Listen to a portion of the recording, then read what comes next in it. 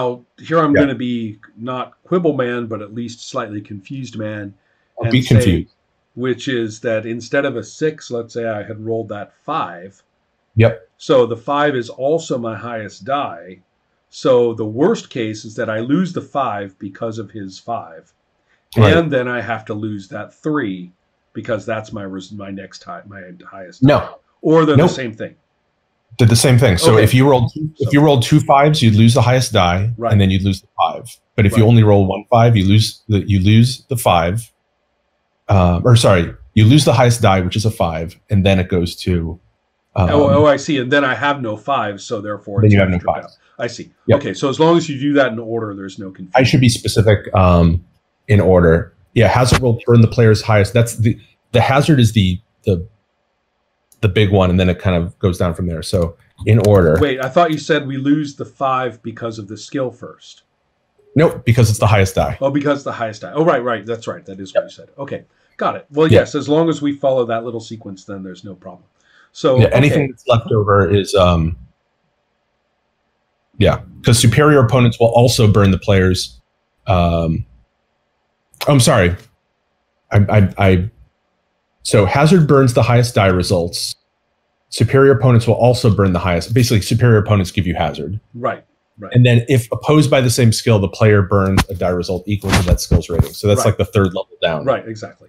Okay, I got it. So, um, so all that said, um, we may talk more, or at least consider what we keep talk, what I keep talking about, which is given a failure or a success in a scene, what does that mean absolutely specifically for the next scene? Right. Right. So, in other words, we don't just reboot and start over, and the game master has to go. All right. Well, then now this. Right. so there are consequences to failure failure it's not just that you you fail Right. um So in this case, in this case, there's going to be, uh, let's see if I go to races and chases. So fatigue. Ah, that's um, right. The stages. Wait, is, and this was a one stage. This was a single Yeah. stage conflict. Yep. Can I Yep. try and articulate that? Um, if it's single stage, then the die roll is basically the end. Yeah. If Yep. it's two stage, then we get a beginning and an end. Yes. And if it's three stage, beginning, middle, end. Yep. Exactly. That's actually what the phases are or the stages are called. I know that, but that's what that's uh, that little Oh, that's right. breakdown. I didn't quite find it articulated, so I Okay. thought I'd try. okay. Yeah. Cool. Um, and fatigue. So in a foot race, obviously fatigue is you lose stamina. In a car chase, fatigue is you start to wear out your car. Right, right. So your car So is going to In this suffer, case, the car basically wears out. Yeah. Okay. or a little bit. right. um, and it's based on your um, this is the part i i'm not exactly sure. So car chase is weird because you're not you really so let me rephrase. Reset. So in a foot chase right you could tap your stamina. Mhm. it could be like okay i've got this much stamina i'm going to use this much of it to get bonus dice. Great. In a car chase you can't do that because you're not it's, it's the car. So it's more important to use the car's attributes than yours. So cars will Maybe, have I'm not so sure about that. We could say that you would have to tap your concentration, um, you know, your your mental acuity, because you're putting everything you have into the concentration of keeping. You could do that. You could Yeah. do that. Focus me, is yeah. I think I think there's just tapping your focus probably makes sense. yeah, yeah. That that would be fine, but that's only for characters for character roles that have uh, focus skill.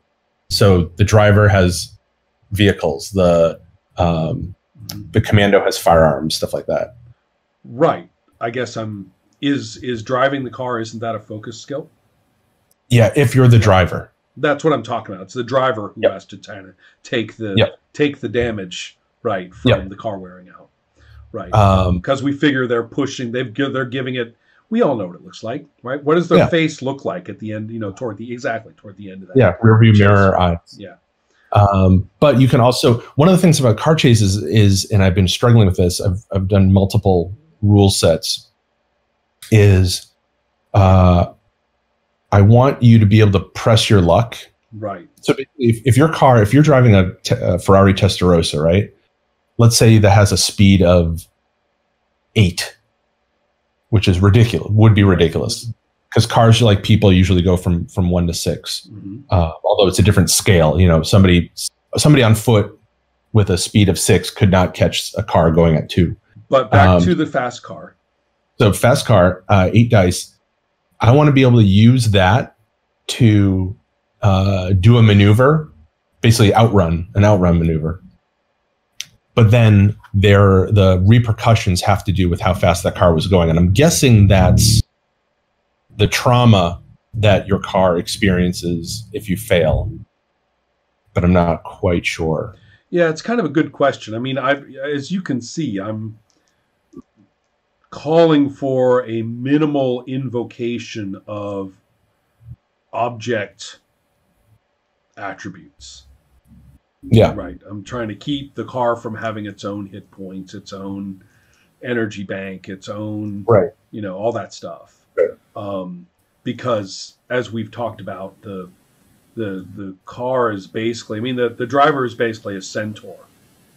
Yeah, right? The the car is the you know it's part of them.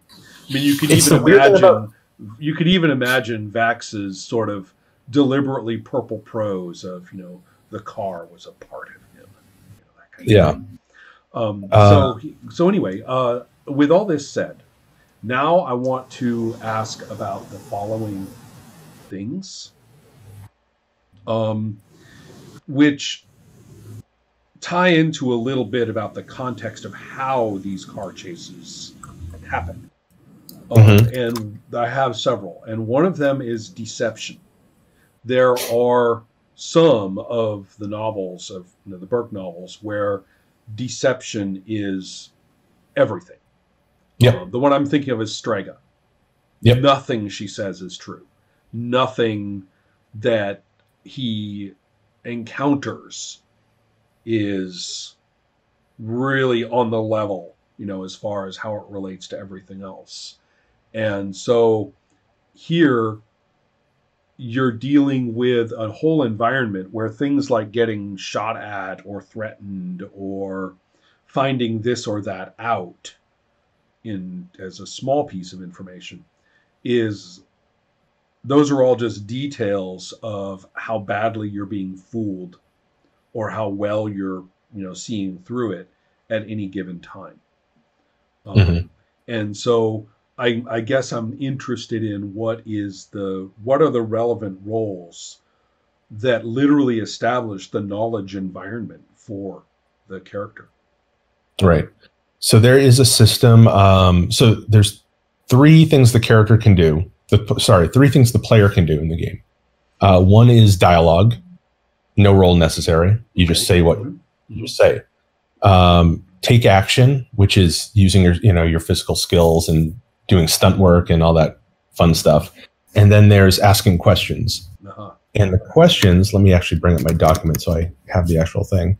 Um, and it's essentially the same chart as the take action chart, which you have in front of you right now.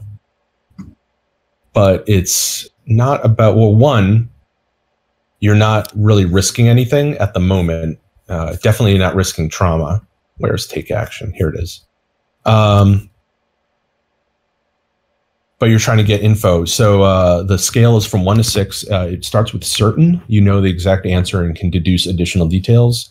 The next one is probable, uh, which is a five. You know the most likely answer. You can make an educated guess about further stuff. Four is you have a theory. Uh, it's going to be rough or general. Three is shaky. You're not sure. Acting on the information could be risky. Two is unknown. You don't know. Any guesses are just stabs in the dark. And one is mistaken. You jump to the wrong conclusion, or you may make an ass. Uh, you make assumptions that make an ass out of you. An umption, to quote Samuel Jackson. I, yes. Uh, so with that, let's see. Sorry. That's that's getting information. That's that's uh, sure, but anytime I'm, you ask the GM a question, the well, this is kind of an interesting point though because I'm real interested in this lately, um, especially after having been playing uh, games in which the players' habits are simply to keep pushing the "Do I see? Is it there? What do I see?" buttons. right, right, basically right. just pushing and pushing and pushing it up to the point where you're like, you just asked that, Right. and they're like, yeah, but I want to roll again. But really, what do I see? yeah, exactly, right. And Yeah. so I'm I'm thinking that instead of that, what we're talking about here, what I'm seeking or trying to get you to kind of think about is what happens when my character asks, you know, Strega, uh, you know, so what's this all about? It's no good. How about something like, you know, uh, do you love your daughter? Right. and this is a, this is role is actually a big deal. I mean the the whole thing of I mean Strega wants me to help save her daughter, Right. and she wants to keep it from me that she's an abuser. Right.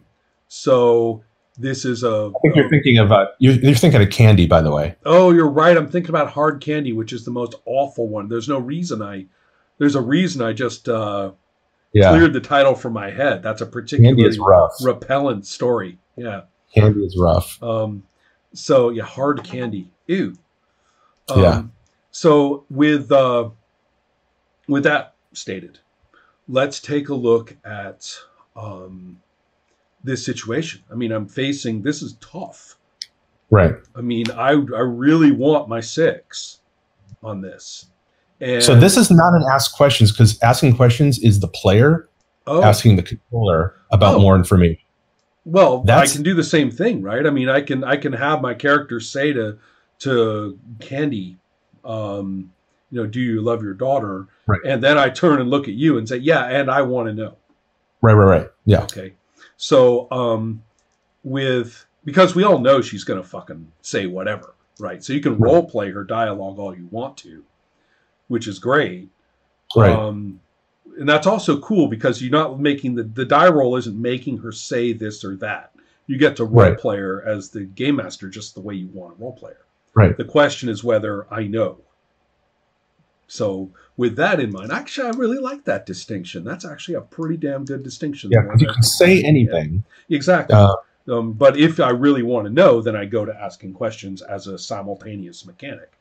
right. So cool. the, the actually there is a situation where you can't just say something, and that's if you're going up against a bond and you're going against in the against the uh, what that bond has requested of you. right. Basically, if you're trying to do the opposite, then you know, tell me the truth. Oh yeah. You have to roll to see if you tell the truth.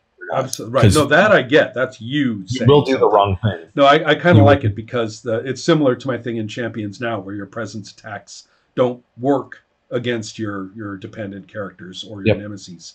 They're like they're done with your shit basically. Yeah. So um, if you, uh, so I like this. Here's the thing, though. I mean, I'm up against a a master manipulator. I'm almost in Right. exactly the same situation as up against that master driver Right. and I'm looking at you know stripping this out and I'm trying to get my bonuses or whatever from uh I'm I'm trying to get those from uh any way I've got. I mean I've called Right. in help of different Right. kinds maybe but or maybe you know in this particular confrontation from the fiction that I'm thinking of Burke's kind of all alone. Yeah. Yeah. He doesn't. He He- and in very the very dice. beginning of that story, when he's first interacting with Candy, he gets she walks on him, if I recall correctly, and so he's going in with all kinds of misinformation. Mm-hmm. Um, so, um, so okay. And they have a relationship. oh no, I know, I know. So she she's able So- to stomp him. Yeah. right. Yeah. Um, and so th- that makes a lot of sense. Okay, so this actually works out pretty well. I'm liking that. So deception, that's cool. Now this is something that um, you're going to spot easily, which is I'm interested in the price, hmm and there's several prices. You're all, you're real good when it comes to the price of failure. Yeah. What trying. about stories and situations in which there's a price for success?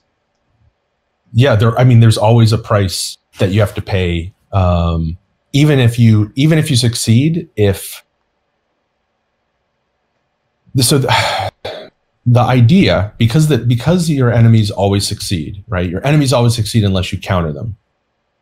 Um but i also want the trauma to be inflicted sometimes when you succeed, and one is if you get a four. Let's see here. Uh, we, on a four, Right. you've got your you know your complication situation. It's your qualified. Um, and now that's what I liked with that information one because you said that's when you get a theory. And Right. my and I was thinking to myself, oh great, exactly what I need. You know, exactly what I need. I've, I've figured it out, or I've got a pretty good guess, good enough to go by, and it wasn't a six. Right. Swell. So, Right. um, so in the case of the the prices, though, what I guess I'm interested in is how well are those set up. I'm not necessarily saying they should always be known prior to the roll. Oh yeah, yeah. They they But- are. Oh, they are. Okay. They are. Okay. Yeah.